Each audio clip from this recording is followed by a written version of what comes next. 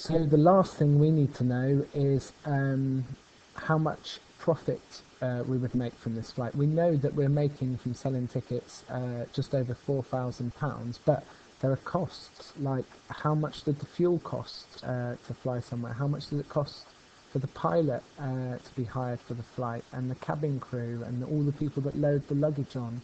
Uh, so you have to think about all these kind of costs. Um, and we put those um, in a table called expenditure. So underneath your income table, if you write in expenditure, uh, and this is going to list all the things uh, which the company spends money on. So I'm just going to, because it's a title, merge and center and make that one bold. And then I'll put some borders around so we can start making our list. So uh, the first thing is fuel. You have to decide how much do you think uh, the fuel would cost uh, to fly these people and I'm going to estimate fuel, quite expensive fuel, £500.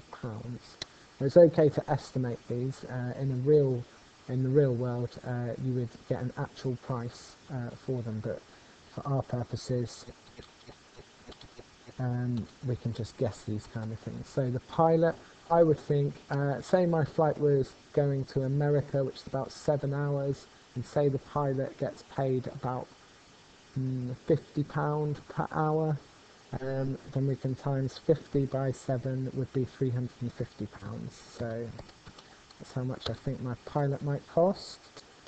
Cabin crew, they're a little bit cheaper, but there's more of them. Uh, so I'm going to put in the same amount, £350. Um, we also uh, might have to spend money on um, cleaners uh, to make sure the flight is clean for when people come on. So cleaners, £200. Uh, next I'll put on luggage carriers.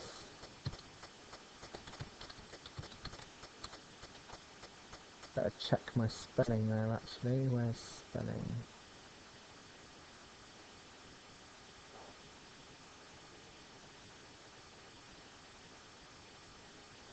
luggage. That's what I wanted. So luggage carriers, I think they can be about 150 pounds. Uh, and then we'll think of one more. Let's say we have to pay air traffic control. Um, let's say we give them 100 pounds. Uh, right, and then we can work out our total for this then. Um, so if we write total, and I'll make a little box for it to go in, and then you can use the auto sum to add all of this up. So auto sum, press enter. Um, so my expenditure, I'm spending £1,650, it's okay because I'm making more than that, uh, £4,075. So to see exactly how much money I'm making, that's called profit or loss. So I'll write profit or loss. Let's have some borders to keep it looking neat. Uh, and your profit and loss is your income minus your expenditure. So if I type in equals, click on my income, press the minus button, and take away my total expenditure, press enter, I can see I'm making £2,425. And it's interesting because you can see, well, what happens if we didn't have any VIPs on our flight? We would only be making £25. That's scary, isn't it?